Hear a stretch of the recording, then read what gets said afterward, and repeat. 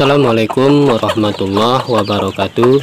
Salam sejahtera, salam sehat, dan salam sukses untuk kita semua Khususnya untuk kawan-kawan peternak ayam di mana pun kawan-kawan berada.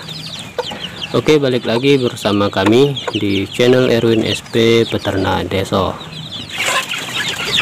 Oke tema kita kali ini ya kawan-kawan Kita mau membuat yaitu pakan racikan khusus untuk ayam pembesaran kita ya. Ayam pembesaran yang berusia dua bulan ke atas. Oke kita lanjut ke topik pembahasan kita yaitu pakan racikan. Nah di mana pakan racikan ini uh, kita buat khusus untuk ayam pembesaran kita ya kawan-kawan. Ayam pembesaran yang berumur minimal satu bulan sampai panen lah. Nah seperti ini. Ini yang berumur satu bulan setengah ya kawan-kawan. Nah ini udah kita beri pakan racikan. Nah pakan racikan kita yang kita buat eh, dengan komposisi yang murah ya. Dengan bahan-bahan murah yang mudah kita dapatkan di tempat kita tentunya. Oke langsung saja kita ke komposisi bahannya. Oke uh, ini kita sudah menyiapkan uh, bahannya ya kawan-kawan. Di sini kita sudah menyiapkan yaitu bekatul. Bekatul sebanyak uh, di sini kita buat 5 kilo ya. Kenapa kita memilih bekatul? Karena bekatul lebih banyak uh, menirnya kawan-kawan ketimbang sekapnya. Selain itu bekatul ini juga halus. Berbeda dengan dedak ya kawan-kawan. Nah di video sebelumnya udah kita buatkan cara membedakan bekatul dan dedak. Nah bagi kawan-kawan yang keliru akan bekatul dan dedak bisa cek di video kita sebelumnya. Di situ sudah kita jelaskan. Oke yang kedua di sini kita menyiapkan uh, dedak jagung. Dedak jagung di sini kita menggunakan uh, eh, 3 kilo ya. Dedak jagung 3 kilo. Nah ini. Di sini kita juga menggunakan dedak jagung yang bagus yang kualitasnya juga bagus. Dan yang ketiga yaitu uh, pur atau pelet ayam starter ya untuk DOC karena kita menggunakan di sini protein yang di atas 20% kawan-kawan. Nah ini kita menggunakan pur BR1 dari Japa yang proteinnya 21 sampai 22% nah ini kita gunakan sebanyak 2 kilo. Nah yang terakhir yang tidak kalah penting ya kawan-kawan uh, untuk komponen dari bahan pakan racikan ini agar vitamin ataupun mineral yang terkandung dari pakan racikan ini agar lebih lengkap kita menggunakan yaitu top mix atau premix ya. Nah sini sudah terkandung berbagai macam vitamin mineralnya vitaminnya. Uh, sudah lengkap kawan-kawan. Nah bebas juga kawan-kawan menggunakan premix lain yang untuk campuran pakan racikan ya. Sudah banyak juga yang uh, dijual di toko ternak. Nah ini kita hanya menyarankan ke kawan-kawan kalau kawan mau menggunakan ini ya monggo. Kalau mau menggunakan premik lain ya juga monggo. Bebas saja ya kawan-kawan. Nah untuk dari keseluruhan uh, pakan racikan ini kita menggunakan total seluruhnya yaitu 10 kilo nah bekatul 5 kilo tidak jagung 3 kilo dan pur ayam pedaging 2 kilo nah ini nanti akan kita aduk menjadi satu kan kawan oke okay.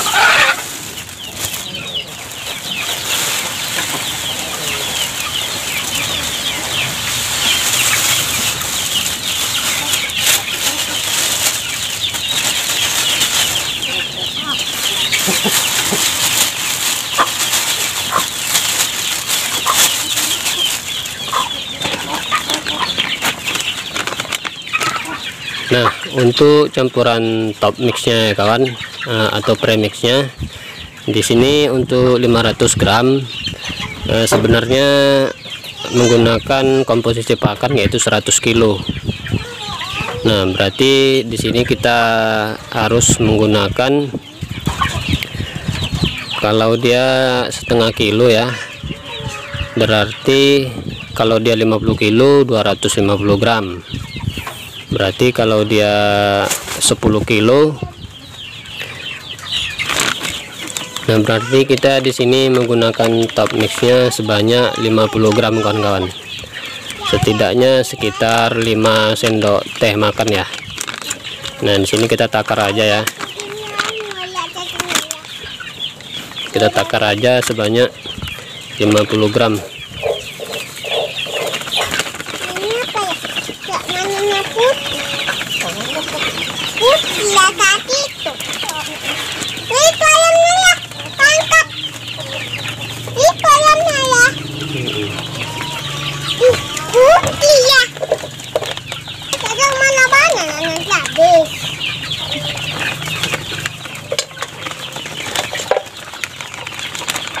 Itu ayam, itu naya apa itu? Ya. Gimana kalaunya?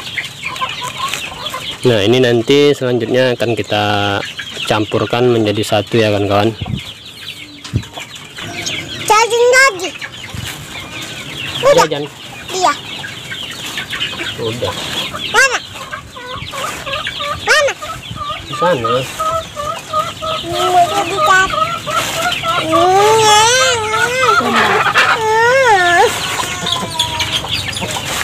mau.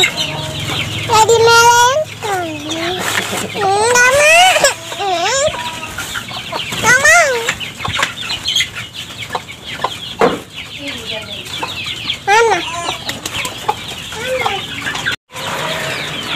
ini sudah selesai kita aduk ya kawan-kawan. Sudah kita campurkan menjadi satu.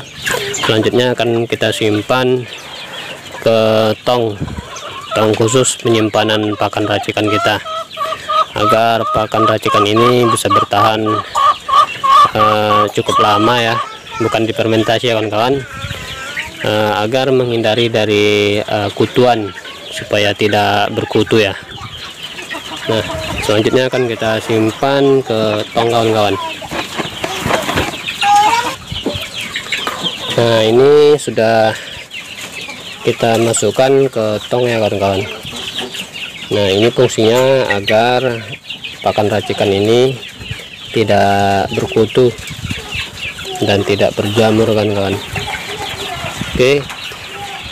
Untuk selanjutnya ini akan kita aplikasikan ke ayam pembesaran kita ya Nah di sini kenapa kita menggunakan eh, pelet ataupun purnya sedikit Nah karena kita menggunakan pakan racikan ini kita campurkan lagi kawan-kawan dengan campuran sisa na- nasi sisa sayuran ya eh, sayuran cincang ataupun kadang kita masukkan juga azola Nah agar melengkapi protein dari pakan racikan ini. Nah kalau kawan-kawan mau menggunakan eh, bekatul 50% dan pur 50% itu sangat bagus. Namun di sini kita mau menghemat biaya kos pakan ya kawan-kawan. Agar tidak terlalu mahal di pakan eh, ayam kita nanti.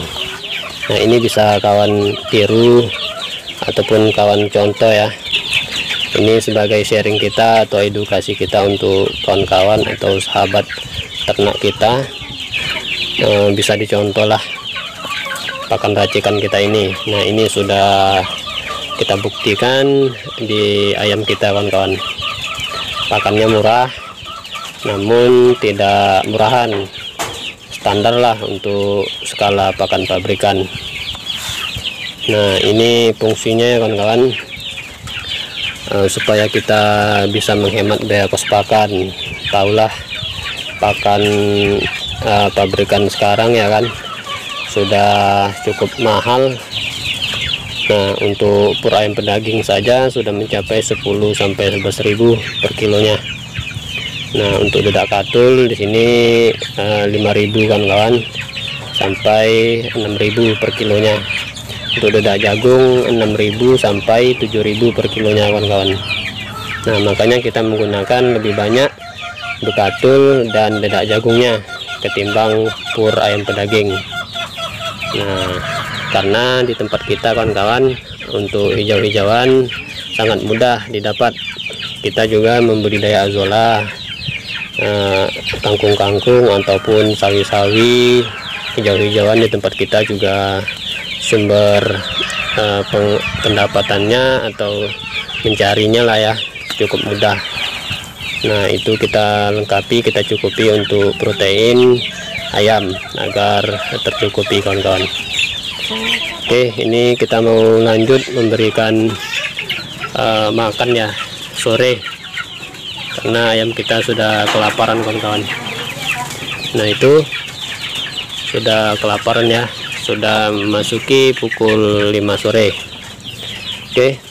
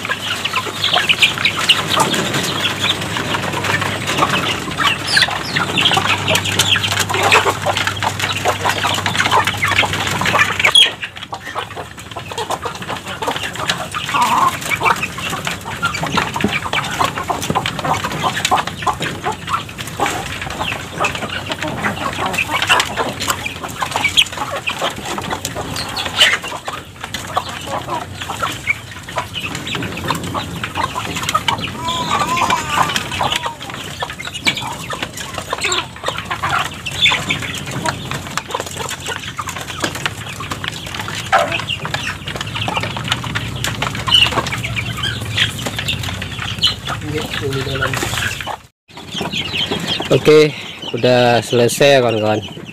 Udah selesai kita memberikan makan sore untuk ayam. Nah bisa kita lihat kawan-kawan. Nah inilah ayam kita yang makan pakan murahan.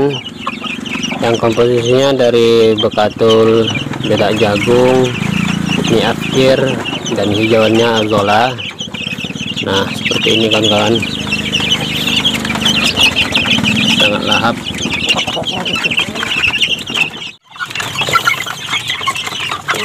Nah seperti itu ya kawan-kawan uh, untuk pakan racikan kita yang kita buat. Untuk kawan-kawan semoga untuk kawan-kawan semua. Bisa kawan-kawan uh, coba atau kawan ikuti lah ya untuk ternak-ternak kawan di rumah menggunakan pakan racikan uh, yang kita buat. Nah seperti ini kawan-kawan ayam kita lahap. Sehat. Nah seperti itu kawan-kawan. Nah untuk melengkapi proteinnya tadi eh, perlu diingat ya kawan-kawan kita bisa menggunakan eh, hijau-hijauan ataupun azola untuk melengkapi protein dalam kandungan pakan racikan kita yang kita buat. Oke seperti itu saja kawan-kawan sharing kita di sore hari ini bila ada salah kata dari penyampaian kita dari awal sampai akhir kita mohon maaf. Jangan lupa tekan tombol like komen dan subscribe nya di bawah agar channel Erwin SP Ternak Deso akan terus memberikan eh, tips-tips uh, seputar peternakan ayam kampung yang bermanfaat. Lebih dan kurangnya kami mohon maaf. Wabillahi taufiq wal hidayah Assalamualaikum warahmatullahi wabarakatuh